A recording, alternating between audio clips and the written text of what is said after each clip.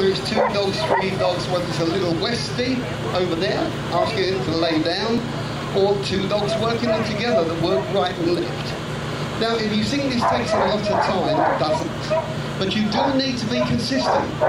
Because people say to their dog, sit, sit, sit, sit, sit, sit, and then they ask an animal a question. And the animal doesn't understand the language, and they go, "What Will you sit?